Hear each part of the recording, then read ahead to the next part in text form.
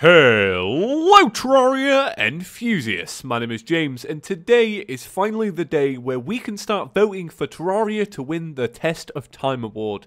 So thanks to a bunch of awesome people, we actually got Terraria nominated for the Test of Time Steam award. But we need one big push today, a bunch of you need to go to the Steam store page for Terraria and vote Terraria for the Test of Time. Now I personally love Terraria, as you guys know I've been playing since the very first day and my god, over the past six years, the game has evolved so much. It's so different now, but it's honestly so much better. Terraria has been a game that just keeps on giving. Since day one, the game has become such a giant, such a huge experience. You know, there is so much content here that it's actually mad.